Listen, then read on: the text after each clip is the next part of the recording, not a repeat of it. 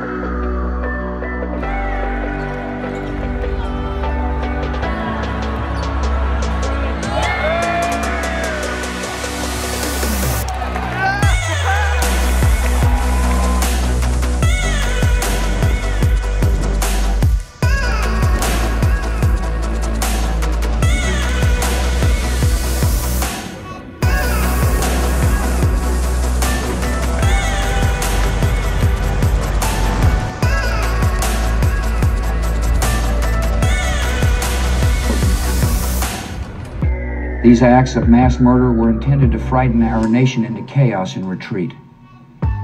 But they have failed. Our country is strong. A great people has been moved to defend a great nation. Terrorist attacks can shake the foundations of our biggest buildings, but they cannot touch the foundation of America.